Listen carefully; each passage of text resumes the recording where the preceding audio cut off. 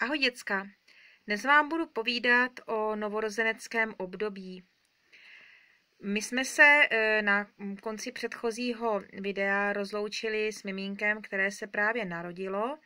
No a vám je už jasné, že v podstatě, když se dítě dostane z dělohy na tento svět, tak jej čekají veliké změny, které e, spočívají vlastně v tom, že z dítěte se stává v podstatě suchozemský živočich. Předtím bylo přizpůsobené tekutému prostředí v děloze a vý, veškerou výživu i kyslík dostávalo z mateřského těla přes placentu a to se teď stává e, vlastně minulostí a plíce má uh, už připraveny k činnosti. Dříve byly plíce naplněné plodovou vodou. Ta se po porodu vstřebá ta tekutina a vlastně těsně po porodu už může proběhnout první vdech a eh, je důležitý ten křik, to znamená, tím křikem se plíce rozepnou a připraví se na tu svoji činnost.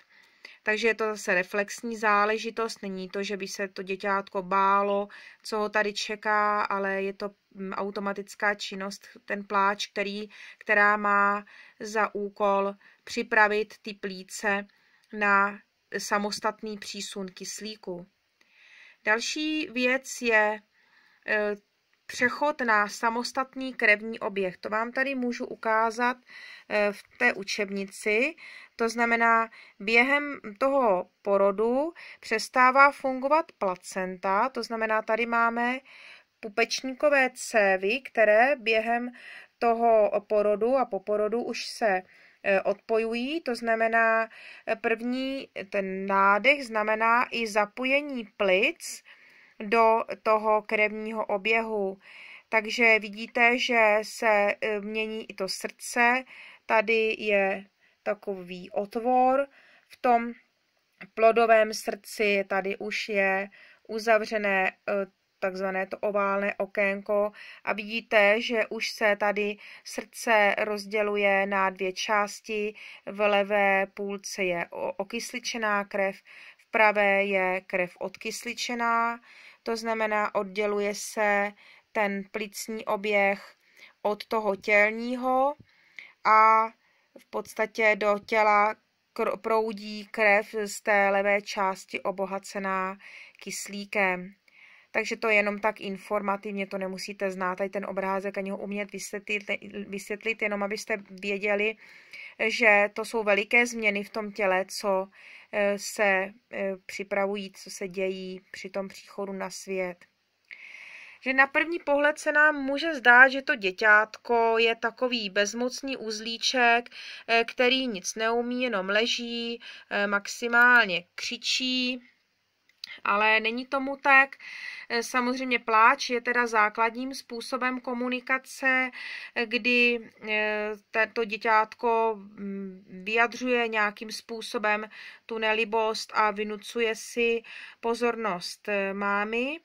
Jinak zajímavost eh, je i ta, že třeba krátce po porodu už pozná děťátko hlas mámy, na který je zvyklé už od plodového období, eh, pozná i její, vůni, to znamená, proto je velice důležité, aby po porodu se od mámy eh, to děťátko neoddělovalo, aby eh, bylo neustále u ní, protože i v, té, i v té porodnici, protože právě v těch prvních chvílích, hodinách po porodu dochází k tomu poznávání, eh, k, to, k poznávání té vůně, hlasu a hm, pláče toho dítěte, prostě vzniká takovéto pouto.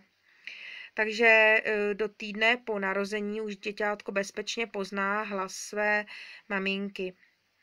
No, s viděním na tom není moc dobře, to novorozeňátko eh, v podstatě vidí eh, dobře tak do 30 cm, což je v podstatě vzdálenost, která právě odděluje jeho obličej od obličeje té mámy, nebo tak by to aspoň ideálně mělo být. A na delší vzdálenost je už vidění neostré, a přesto tedy, že je to takový jenom ležící tvoreček, který nedokáže ještě unést ani svoji hlavu na krku, tak má výborné instinkty spoustu takových vrozených chování, různých instinktů a reflexů, o kterých si teď třeba povíme. Tak jako tady první mám třeba necílený reflex, což je jak když takový úsměv. To je významný nástroj právě pozornosti. A tento reflexní úsměv necílený znamená právě, že to není, že by se usmíval na maminku, že by to miminko bylo rádo, že vidí maminku, tak to není. Je to spíše Eh, úsměv, je to spíš takový stažení mimických svalů. Eh, to znamená eh, něco takového automatického, no a má to vyvolat právě lásku, péči, to miminko je hezké, právě tím, že se usmívá, je takové miloučké. A maminka se o něj postará, to znamená, je to takový mechanismus, Eh, který je eh, nevědomý ten vztah a má za úkol vyvolat eh, lásku a péči té maminky.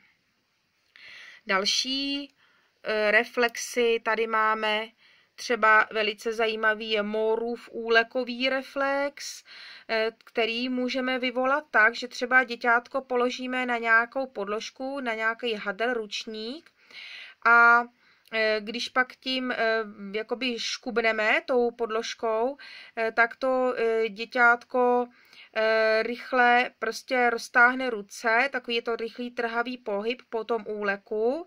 A je to asi jako když nějaká příprava na to uchopení té mámy, Eh, na, eh, je to asi takový jakoby mechanismus, který jsme podědili po našich eh, zvířecích předcích, když dřív, když vlastně primáti měli, nebo naši předci měli srst, tak to mládě se leklo a mělo připravené ručičky k uchopení té srsti. Tento reflex vymizí ve třech měsících.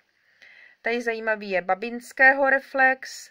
Tady vidíte, jak to děťátko má velice pohyblivé nožičky. E, to e, takhle prstičkama hýbat to dospělý nedokáže. To zase právě asi pozůstatek po těch předchozích evolučních stádích, která mají daleko pohyblivější ty prsty a ty nohy. Takže potom jakoby když se poškádlí, tak vlastně se jako když snaží asi taky chytat těma nožičkama, těma prstičkama a tady potom je zvláštní chodící reflex, to znamená v podstatě, když se mu ty nožičky dotknou tomu miminku země, tak začne jakoby je zvedat, jak když jako capat, jako kdyby chodil. Ale to samozřejmě nereflexivní, no, jenom takový stahování svalů. E, to děťátku vůbec není ještě připraveno na chůzi. Dalším reflexem e, typickým je úchopový reflex. To znamená, je, o něm se přesvědčíme, pokud vložíme novorozenci do ruky prst, to jenom pošimráme nebo vložíme, jak se dotkne ten prst té dlaně, tak dítě i hned sevře právě do pěsti ten prst. Tady máme něco podobného, to bude, jak když asi ten babinského reflex eh, Připomíná to taky ten úchopový reflex na té nožičce, právě vidíte ty ohybné prstíky, skoro jak když u nějaké opičky. Eh, ten úchopový reflex je tak silný, že dokonce dokážete, třeba když byste vzali to děťátko e, za dvě ruce, to znamená dvěma ukazováčky, za, e, dva ukazováčky vložili do dvou dlaniček, tak dokážete to dítě normálně zvednout na pár sekund a unese celou svoji váhu. Takže to je velice významný, velice silný reflex, důležitý právě pro to přežití. Samozřejmě velice eh, důležité jsou reflexy z oblasti přijímání potravy, to znamená, to je potom reflex sací, spojený s reflexem polikacím a předtím se projevuje reflex pátrací. To znamená, pokud se dotknete tvářičky, takhle byste třeba zašimrali to děťátko tady na tvářičce bříškem prstu, eh, tak potom to děťátko se otáčí, hlavička se otáčí ve směru toho prstu a našpuluje pusínku a hledá eh, ten zdroj potravy a je připraveno sát. Jinak eh, nejprve se objevuje mlezivo, což je e, takové, mm, jakoby, taková kapalina, která ještě není úplně bílá, je to e, několik dní po porodu, taková kapalina plná bílkovin. No a teprve později se objevuje plnohodnotné mléko. No, to kojení je velice, velice důležité. Eh, samozřejmě v tom novorozeneckém období, protože to složení mléka se mění podle věku, podle situace, je vždy připraveno to mlíčko k použití, není, eh, nehrozí jakoby překrmování, to znamená, to dítě si vezme v podstatě kolik potřebuje, eh, má správnou teplotu, kojení je pohodlné, že nemusíte nic chystat, nic umývat, sterilizovat, Eh, je to také po ekonomické stránce výhodnější eh, a i mm, po té ekologické, kdy je vlastně to bezobalový, eh, bezobalová potravina, takže rozhodně to kojení by mělo probíhat. A potom tady se posuneme o něco dále. Tady máme ve čtvrtém měsíci už je doba eh, pasení koníčků. V té době tedy děťátko leží a zvedá jakoby hlavičku nebo i hrudníček. Pokud leží na zádech, tak eh, v, to, v této době, v tom čtvrtém měsíci, tak eh, si chytá nožičky, objevil nožičky, že má miminko a strká si je do pusy a hraje si s těmi svými, no, s těma svýma nožičkama. Dále potom tady máme eh, lezení, v podstatě eh, toho půl roku eh, děťátko leze po čtyřech, ale zase to individuální, některé děti lezou později, některé ani nelezou, jsou děti třeba, které se kutálí nebo plazí různě, ale většina jich leze takhle po čtyřech. No a v, období půl roku začínají první příkrmy, to znamená rozmixovaná, neslaná, mrkev, takže tady děťátko se těší na mrkvičku, takže, takže to má maminka asi štěstí. No a e, potom od 8. měsíce potom začíná se přidávat do té kašičky třeba maso, aby byla vyvážená strava. No a s tím koresponduje i růst zubů, takže v podstatě, jakmile začínají zoubky, tak už to děcko e, začíná být připraveno na takovou pevnější stravu. Prvně se objevují dolní dva řezáky. A je to taky velice individuální. Některé děti mají dva, dva zoubky na konci prvního roku, jiné mají třeba i osm zoubků.